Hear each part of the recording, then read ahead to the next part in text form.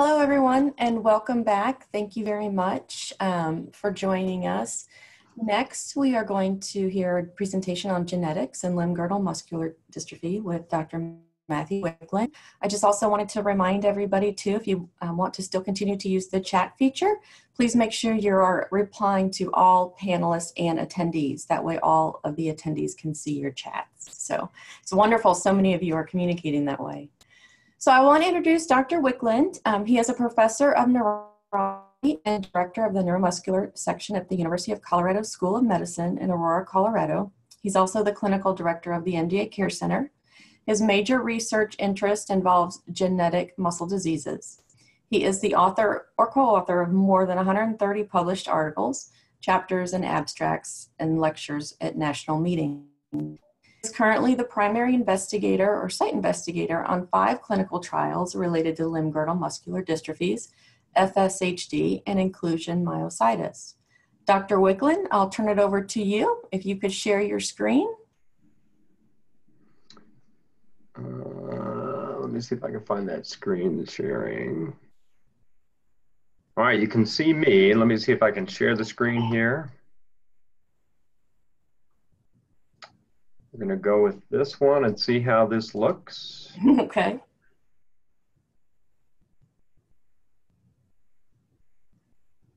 We see it's starting. There we go. Perfect. All right. Well, it's a pleasure. Oh, go ahead. All right. It's, it's a pleasure to be with you all and uh, in uh, this time of virtual presentations. Uh, and I'll say good afternoon to those of you in the Eastern time zone and for everybody else farther west, uh, like me, uh, still good morning to you all. So we're going to talk a little bit about uh, the limb-girdle muscular dystrophies, and then uh, we're going to go into genetics to hopefully better understand genetics. So here we go. Hopefully.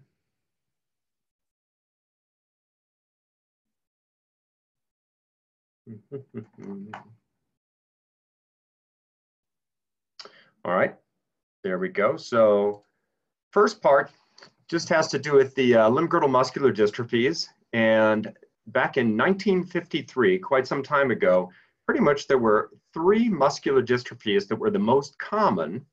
And these two gentlemen out in uh, Newcastle in England decided that there were others, and so they designated those as the limb-girdle muscular dystrophy. So they wanted to separate those from the ones that we did know, which were this, which is Duchenne muscular dystrophy,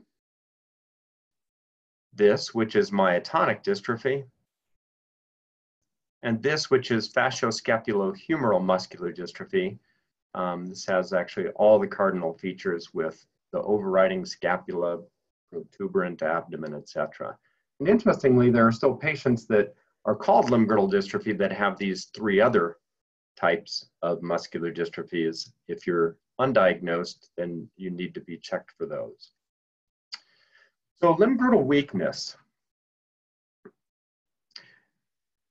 We have a new definition which is called postnatal onset of progressive weakness and muscle atrophy affecting the proximal muscles of the lower and the upper extremities.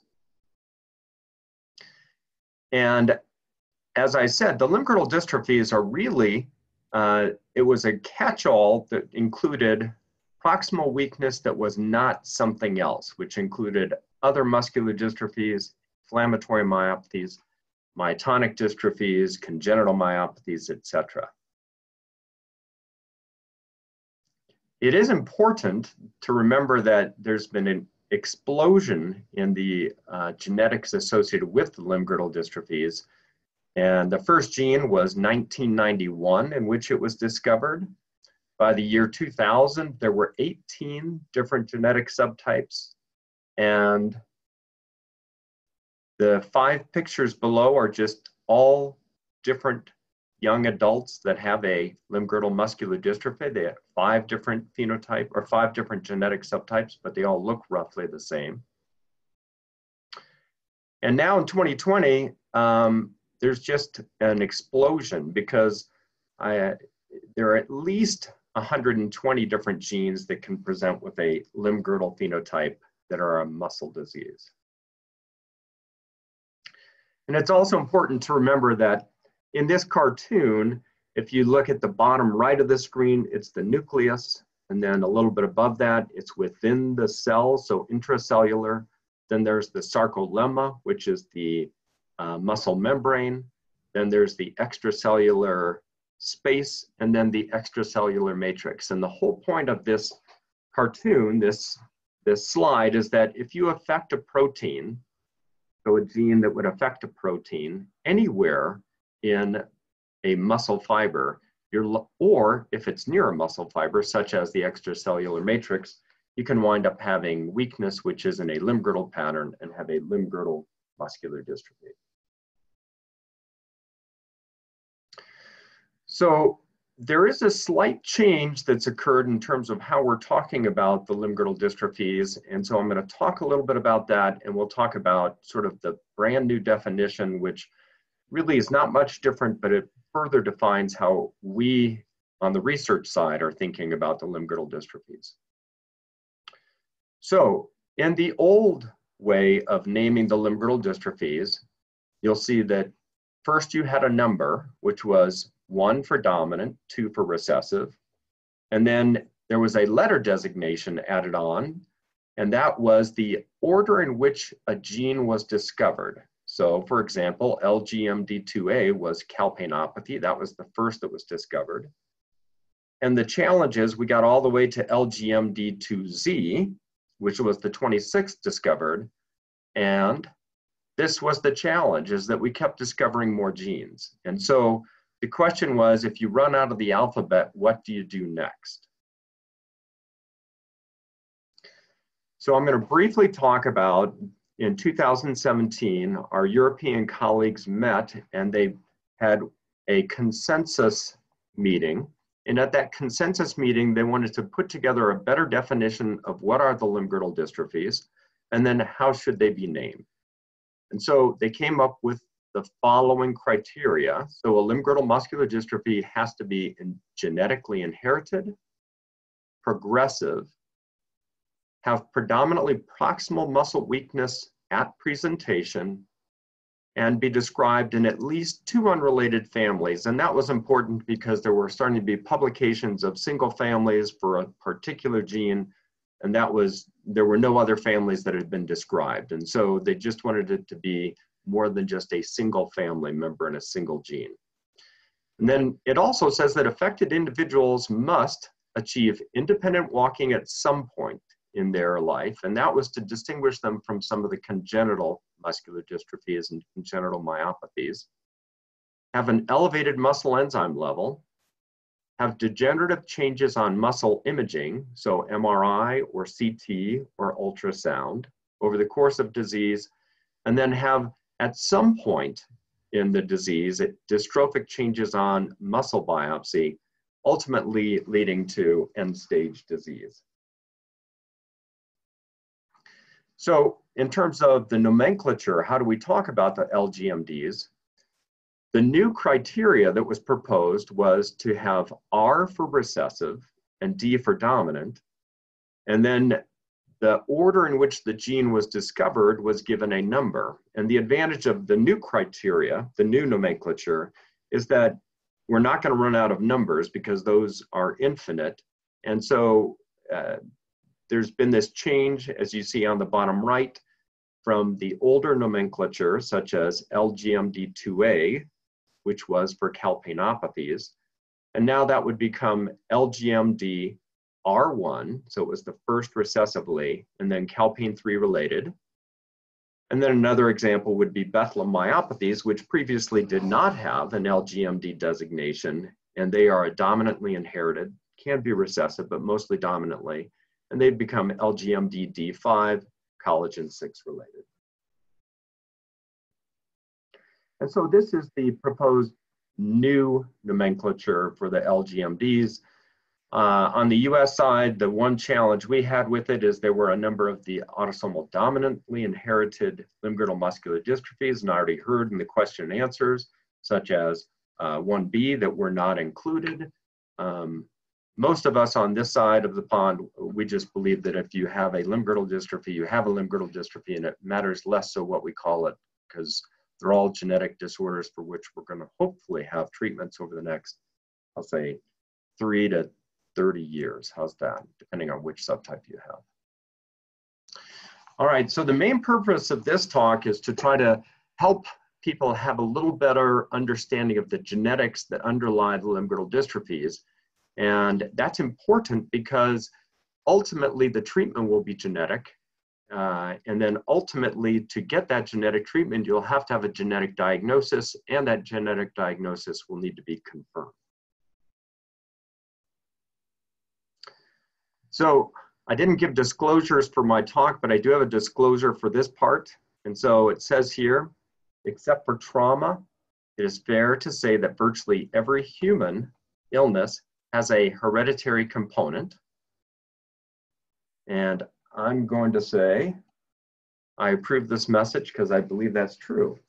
You can even make an argument that some aspects of trauma, such as people's risk aversion or risk taking desires, uh, probably are genetically wired. And so maybe some trauma is also genetic. So there has been a huge advance. So the person that let me go back just for a moment, that said that was Francis Collins, and Francis Collins was involved in uh, the, delineating the genome. And so this is a Time Magazine 2000 where it's talking about cracking the code, which is the Human Genome Project.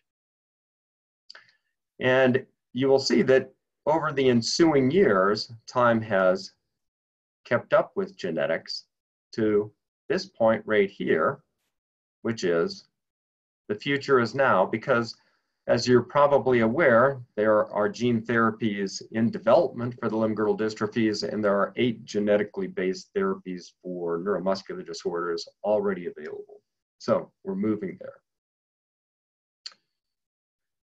Now, this is most people's reaction to genetics, which is, oh my gosh. And then you may also have this other challenge, which is, this is the way a lot of care providers um, deal with genetics, which is, yeah, I don't know. It does. It's it's kind of hard to understand. So we're going to take it from the beginning and try to move forward. And I do have to give credit to Livija Medne, um, who is part of the personalized medicine program at Children's Hospital of Philadelphia for many of these slides because she does a, a brilliant job of presenting the genetics. So the goal of uh, genetics is to lower the bar to access genetic testing. And that's been happening, and you'll see that.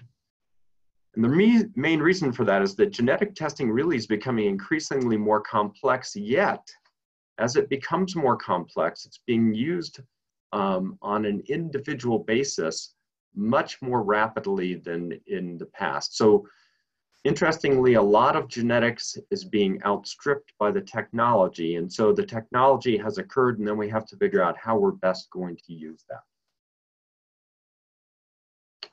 So simple part of genetics. It's, it's really straightforward. You start with DNA, which can reproduce itself when cells divide. And then DNA is transcribed into RNA. And then RNA is transferred outside of the nucleus into the cytoplasm. And then in ribosomes, it's translated into proteins. So pretty much this is genetics. DNA goes to RNA, goes to protein. And in bodies, we use those proteins as building blocks for making cells, and then cells go on to become organs, and organs become humans or other creatures. So an LGMD gene turns to LGMD RNA, and then we get an LGMD protein.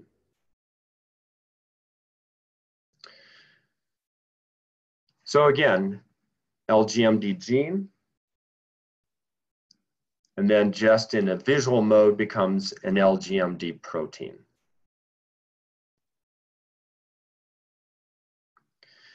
again, looking at it from the top right, you can see there's a cell and cells even farther to the right, you could put a human body up there. So humans are composed of organs which have cells. And in the cells, there's a nucleus, and in the nucleus, there are chromosomes. And then if you unravel those chromosomes, you get down into genes, and then genes are composed of these building blocks of DNA called nucleotides. And you can see those nucleotides in the letters on the bottom right portion there, which are T,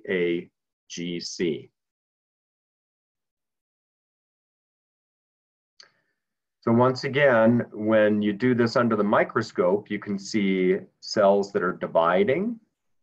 And then you can take and expand those out and you can see that there are chromosomes.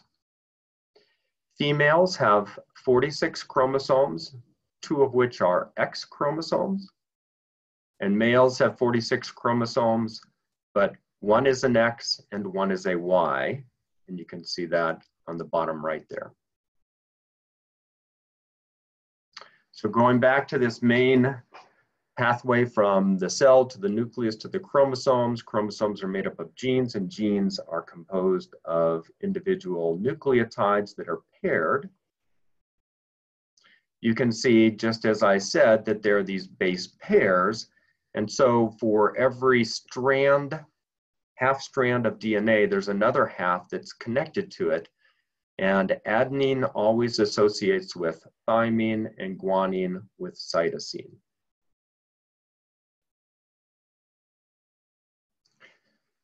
So when you get down from the cell to the nucleus, and then from the nucleus to the chromosomes, then from the chromosomes down into the genes, genes have their own particular structure also.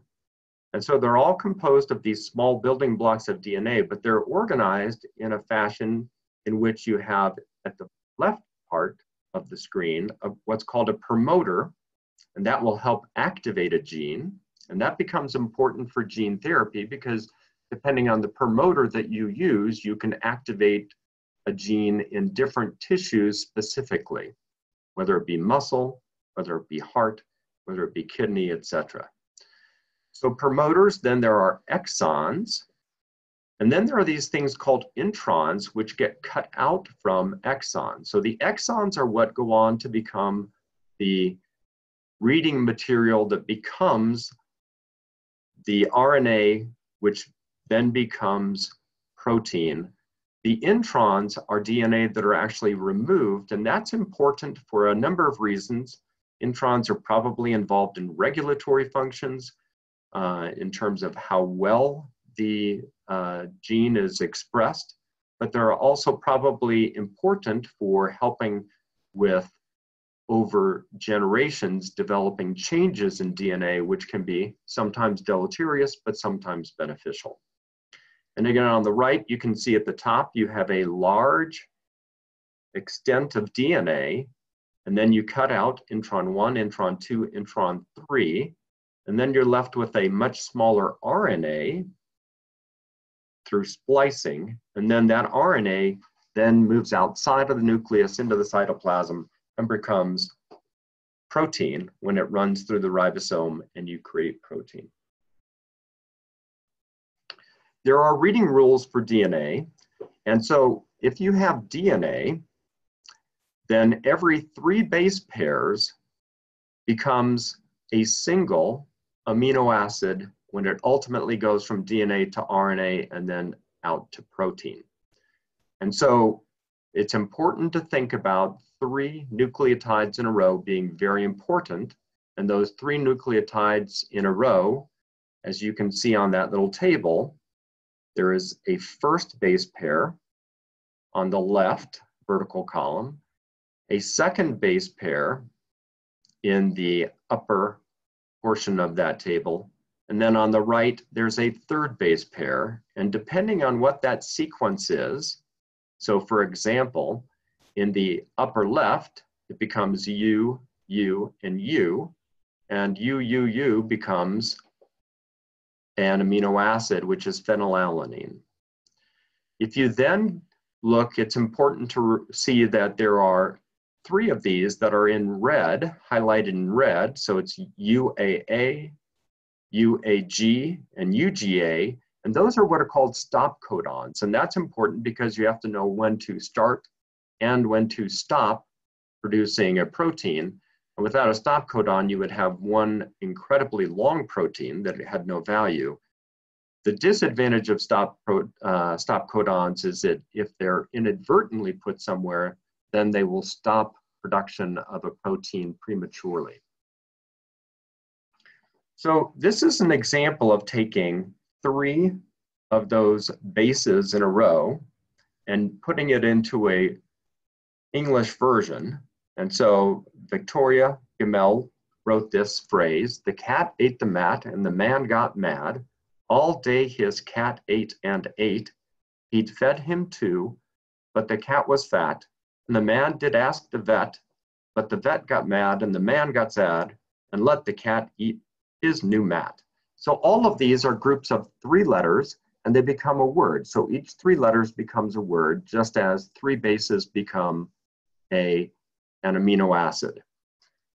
So as we look at what can happen in terms of genetics and in terms of mutations, or in this case, we'll call them pathogenic variants, you can see that the following could happen. So the phrase was, the cat ate the mat and the man got mad. And that makes sense. The man would get mad if his cat ate his mat.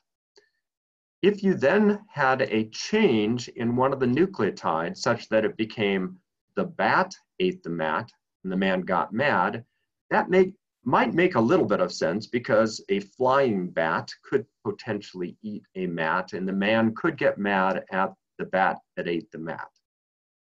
So some changes can be less deleterious than others. And so potentially if you changed cat to bat, it would have mostly the same meaning. Um, and the protein, which is this whole sentence, might not work quite as well, but you get the idea that an animal ate the mat and the man got mad. Now you could have a different genetic change, such as an H instead of the C. And then all of a sudden, the hat ate the mat and the man got mad. And in most worlds, a hat cannot eat a mat. A hat is an inanimate object. And so therefore, this does not make sense. And all of a sudden you may have a protein, or in this case, a long sentence that just doesn't make as much sense and it may not work as well. And so that would make this more likely a pathogenic variant. And then we have one other thing that can happen. Instead of substituting a letter or substituting a base, you can actually have one that's deleted. And then what actually happens is you get a shift in the reading frame. And so instead of it saying the at, ate the mat, etc., what happens is everything shifts by one letter and then your sentence sounds as follows. The ata, tet, hem, ata, nd, hem, ang, and it makes no sense at all. And this definitely is a pathogenic variant because that protein now is misshapen or misformed and doesn't work correctly. So this is that reading rule where every three bases becomes an amino acid. And if you change one of the initial bases, you can change an amino acid and that amino acid can have various effects on the ultimate protein structure. So we're going to talk about types of DNA alterations we can start very big. They're what are called copy number alterations. And if you look at the chromosome level, here are those 46 chromosomes again, but here there was a copy number where there was an extra chromosome. So what happens is that there are three chromosome 21s. There should only be two. And so this is trisomy 21, which is also Down syndrome. So this, if you have too much or too little of a of DNA, meaning an entire chromosome that is either duplicated or deleted, that can lead to significant disease. You can have it on a smaller basis. This is just a readout of a portion of a chromosome, and it's just missing a portion on the left of that image where it's circled in red. And what you can see is there's less of the uh, chromosome in that area. So it's a smaller deletion.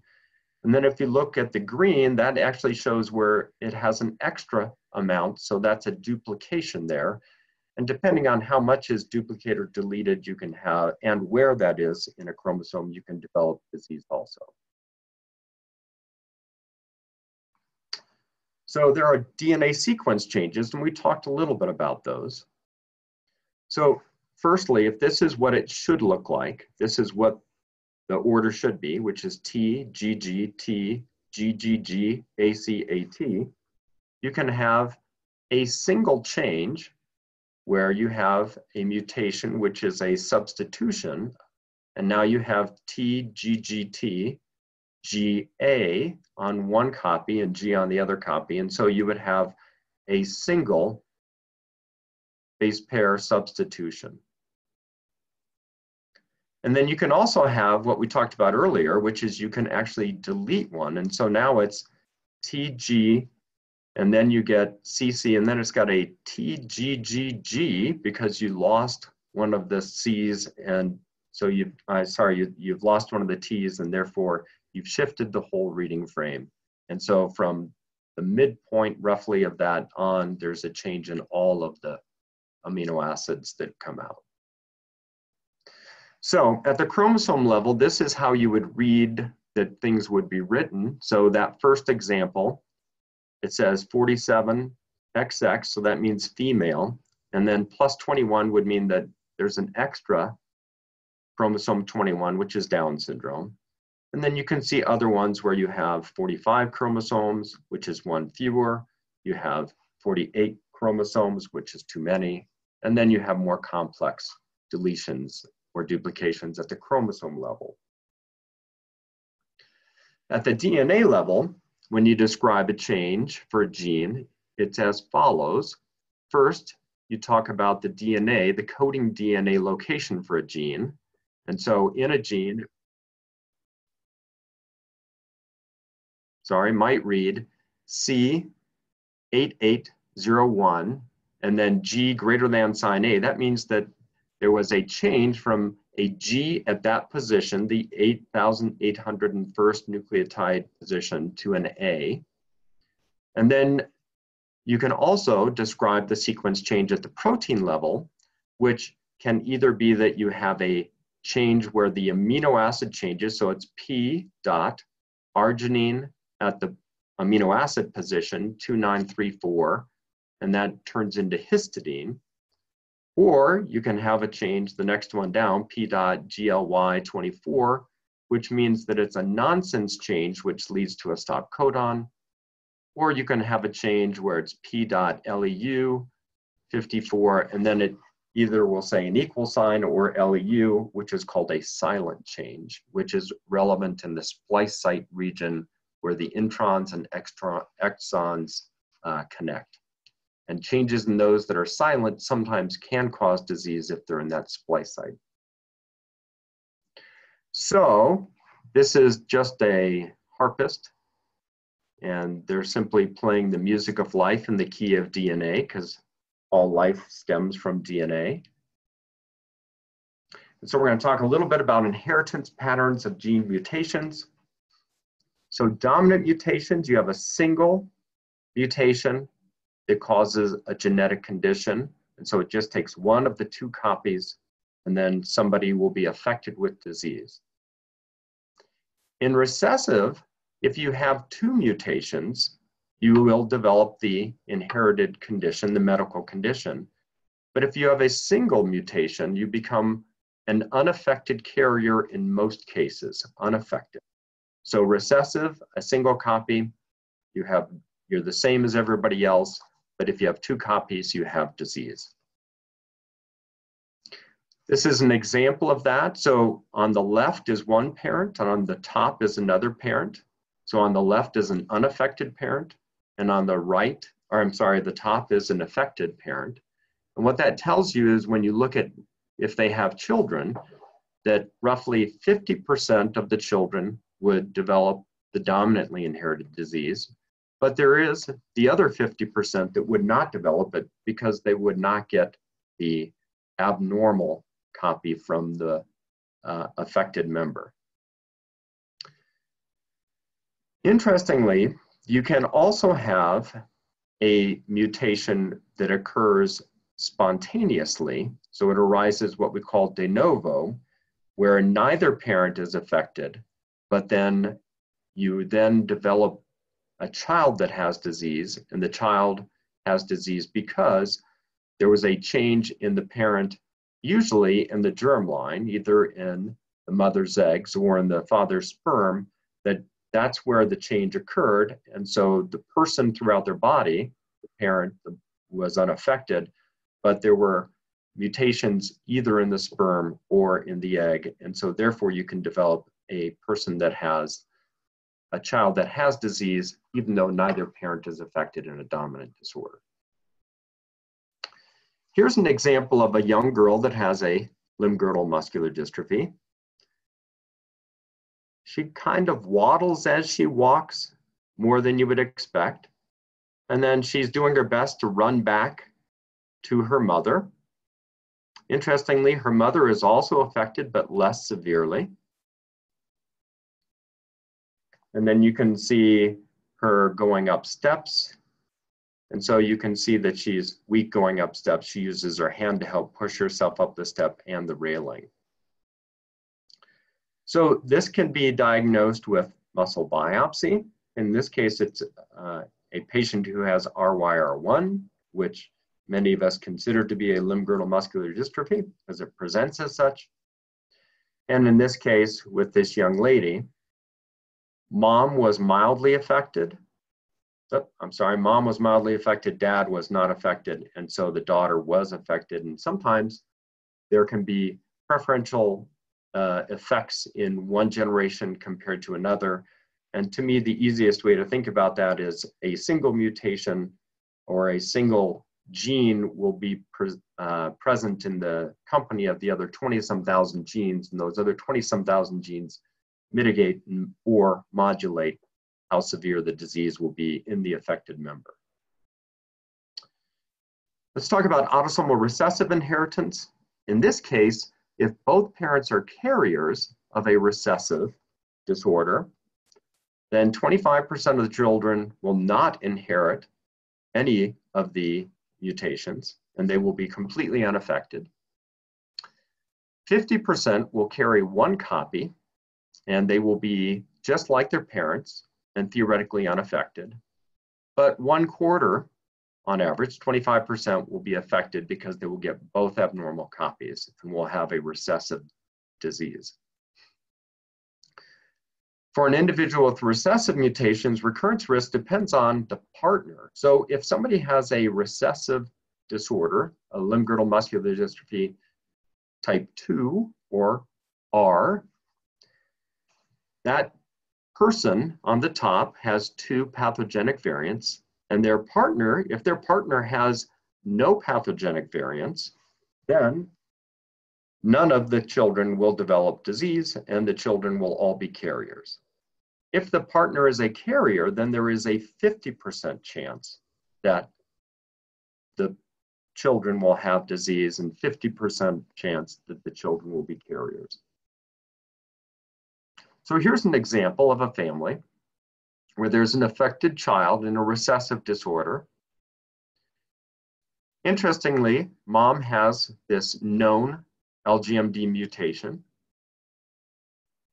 Dad has also a known LGMD mutation, which is pathogenic. It's a null allele, which means it produces no protein. Both mom and dad are carriers, but when they both pass that copy of the affected allele, then the youngster has both copies of the affected allele and therefore has a recessive limb-girdle muscular dystrophy. Interestingly, you can also have an affected child, and this could be the example.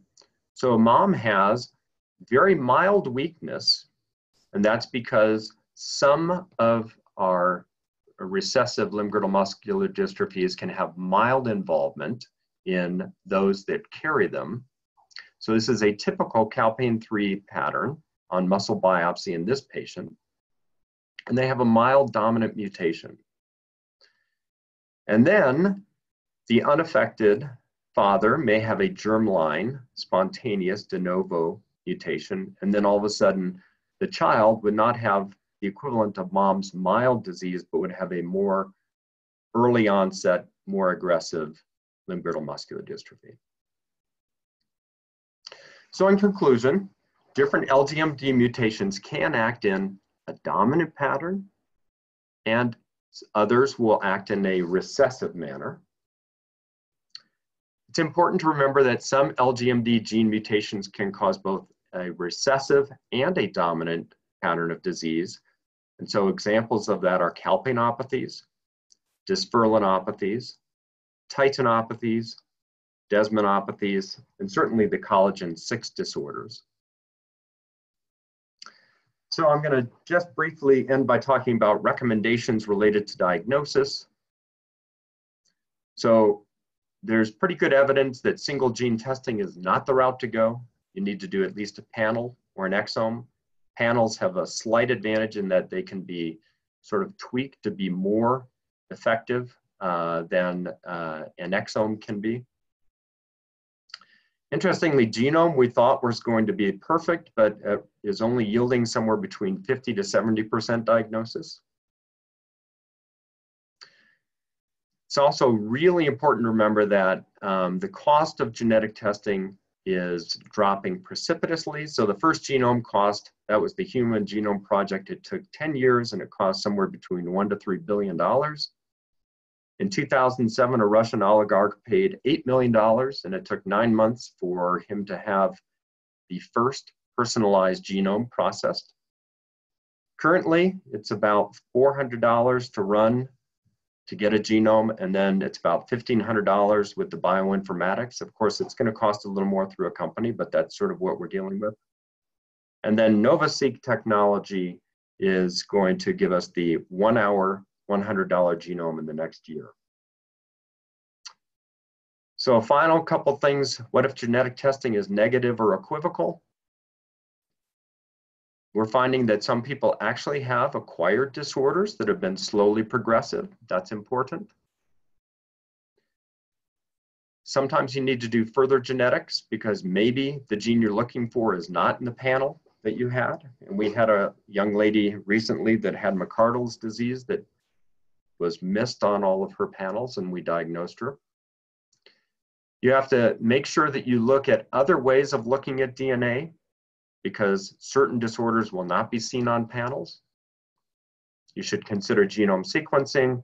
And then sometimes, as has been talked about, you have to evaluate other family members or go to research labs to have them do testing. We had one gentleman recently that had a uh, autosomal dominant disorder with valosin containing protein. And we used his imaging, which is his on the left and the reference on the right to show that that was the same pattern as he had. There are free genetic testing programs. It's important that you know that they're out there. They cover about 100 plus genes that are include almost all the limb-girdle genes. And then conclusions are, despite challenges, genetic testing is critically important. It delivers a definitive diagnosis.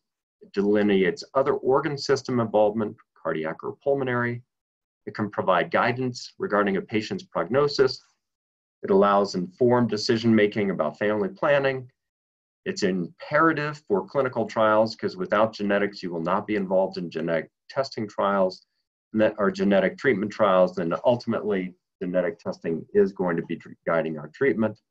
And so this is the guideline, which is the diagnostic process for LGMDs should be broad genetic testing is the first step. And then if that's not positive, then you can circle back to biopsies, other imaging, or other testing such as RNA sequencing to figure things out. So thank you very much for your time and I should, I think, stop sharing my screen because they tell me that I should be done. So let's see if I can do that. There we go. Thank you. Thank you, Dr. Wicklund. That was very informative. Um, we have a few questions that came in, and um, a couple are around family situations. This person's asking, my brother had a DNA test and uh, was given an LGMD diagnosis. My neurologist says no need for me to test as I must have the same type of LGMD. Is that so? the answer to that is probably, but not for sure. Um, if you have free testing, I would do free testing. The main reason for that is um, we've had families that have more than one thing running in the family. Um, certainly, the easy way to think about that is in the Amish population. Back in the 50s, we knew that LGMD ran in that population. And what we ultimately figured out is that they had both calpain and sarcoglycanopathy running in that, and yet they were all called LGMD. So genetic testing is the route to go. Okay. Do you know if LGMD1F has any clinical trials available?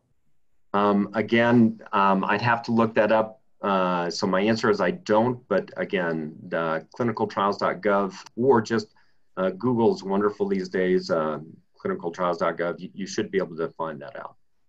But I don't know of any, right. What happens if when you were diagnosed there was no genetic inherited gene found, nor no description in at least two early families? How would that person find out their LGM type? So if you have a gene, uh, it sounds like maybe what that would be is that somebody would have a gene that uh, was abnormal that would potentially lead to a limb-girdle dystrophy. It would likely be that you would need time for others to be diagnosed, or it would need to be that you would have to have some sort of further testing done on you to show that that was the causative uh, gene for your disorder. Okay.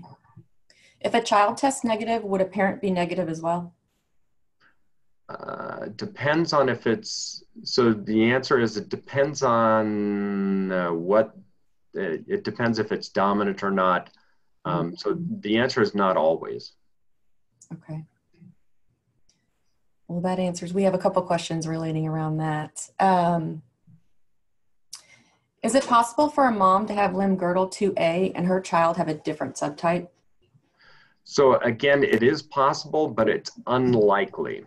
Um, and the other way to think about that is in a single person, we have what we call double trouble and triple trouble. And so we've had a number of patients now that we do larger genetic testing panels where we find that they're a little bit atypical for what we think their limb girdle phenotype is. And it winds up being that they actually have limb girdle muscular dystrophy plus something else. Okay. Um, we have time for a couple more. Do you suggest that anyone pay to get a gene research done? Or would you recommend that they do not do something like that? Well, that's a really good question. Yeah, uh, I think the answer is uh, you probably do not need to pay for that. Usually, there will be somebody that's doing research in a particular gene that will be interested in looking into your particular genetic uh, pathogenic or your genetic variants. And then the other side of that is once there is movement towards uh, gene therapy for a particular gene, um, our industry partners are very willing to uh, go to large steps to try to help sure that patients get diagnosed. So I don't think you'd need to do that. Okay. Are females more affected than males? Uh, it depends on the disorder, but interestingly, in certain disorders like LGMD2L, females tend to be less affected. So. Okay. Well, thank you very much, Dr. Wicklund. That was a great presentation, a lot of information, and uh, it definitely got the chat and uh, a lot of folks talking. So thank you so much. Have a great rest of your day, and thank you. All right. Take care. Bye-bye.